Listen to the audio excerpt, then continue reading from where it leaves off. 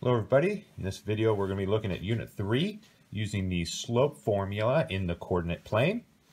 Our learning objective is that I can use the slope formula to analyze and reason about the properties of figures plotted in the coordinate plane. Alright, so let's take a look at our problem here. We're going to have to use the slope formula to determine whether the provided triangle is or isn't a right triangle. All right, so you can see here on the coordinate plane, we have a um, triangle that looks like a right triangle. If you just kind of look at it from here, um, this looks like a right angle to me. Um, but what we're going to do is have to figure out whether or not it is a right triangle. All right, um, and just to be clear, a right triangle is a triangle that has an angle that measures 90 degrees. This means two of the sides are perpendicular to each other. So perpendicular means that you create a right angle um, when the two lines intersect. Um, so we're going to have to prove that triangle ABC is a right triangle. We're going to have to show that we have a right angle here. All right, so we're going to have to show that line segment AC is perpendicular to line segment BC. Okay, this is this um, geometric symbol for perpendicular to. Um, essentially, it means that this line comes down here and creates a right angle with this line here. All right. All right, so how we're going to do that is we're going to use the slope formula um, to figure out if it is or isn't a right triangle. All right, so what we need to find is the slopes. Oh, that's definitely a T. The slopes of line segment AC and line segment BC. Okay, and let's just recall that slope is equal to our rise over our run. All right. So what we're going to do is find the slopes of these, and then there's kind of like a rule um, that comes up when two lines are perpendicular. It has to do with their slope. So we'll we'll find the slopes, and then we'll kind of go over that rule. So let's find the slope of AC first. Slope here. Um, I like to just kind of draw our a little right triangle here. This helps me find the rise and the run. Um, so I'm going to go be going up one, two, three, four, five, six. We're going up six, and we're going over two. So we're going to rise a positive six, and we're going to go run two. So we're going to go over six over two, and you could simplify that to three over one or three. Now let's find the slope of BC. Slope of BC. Again, I come down and over. I'm going from B to C. I'm going to be going up. I go up two and over one, two, three, four, five, six, seven. Okay.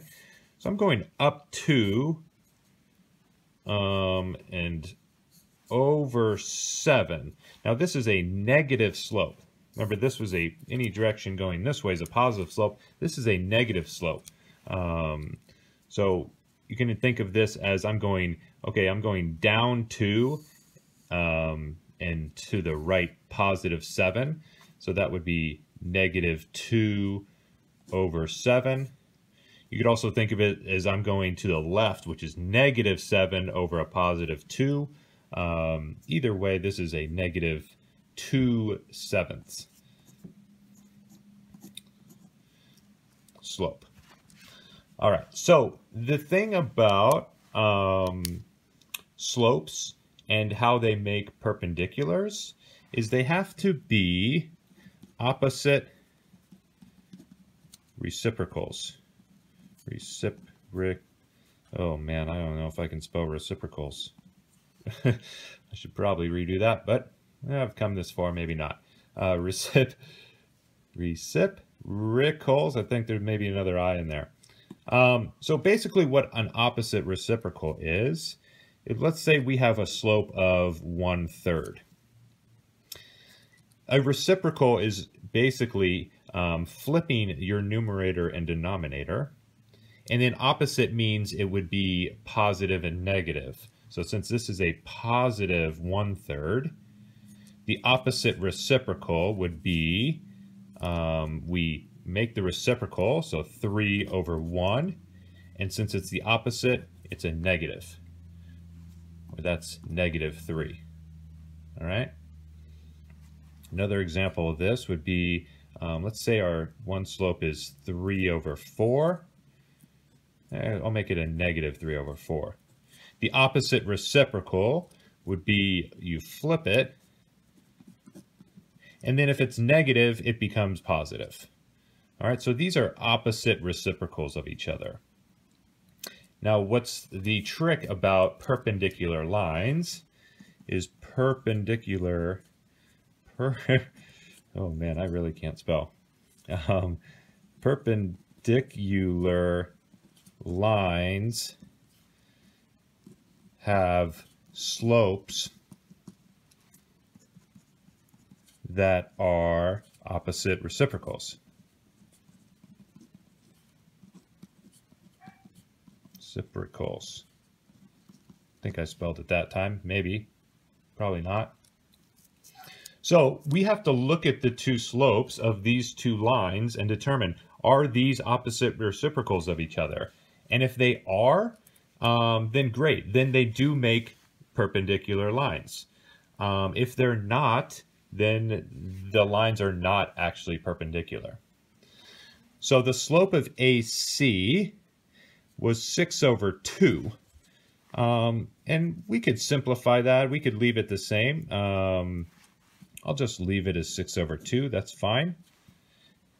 The opposite reciprocal of that would be flipping it 2 over 6. And if it's, since it's positive, we need to, oh, I wrote that wrong, 2 over 6. And since it's positive, we need to make it negative. So if these are our two slopes, then we're good. Then they are perpendicular. But in this case, our slope of BC was negative 2 over 7, not negative 2 over 6, like I, I almost wrote it wrong there. Um, so in this case, this angle is not a right angle because the slope of BC is negative 2 over 7. If it was negative 2 over 6, then it would be. But this is not a right triangle. Not a right triangle. Because it does not have opposite reciprocals for those slopes. If point B was actually right here, and this 7 was actually a 6, this angle would get just a tiny bit bigger right? If you can kind of reimagine that triangle, then in fact, this would be a right triangle because we do have those opposite reciprocal slopes. But in this case, it was not. It sure looked like it was, um, but we showed that it wasn't. All right, so on the back side, um, very similar problem you are going to show whether or not this um, triangle is or is not a right triangle um, using that slope formula and using that opposite reciprocals. All right, thank you.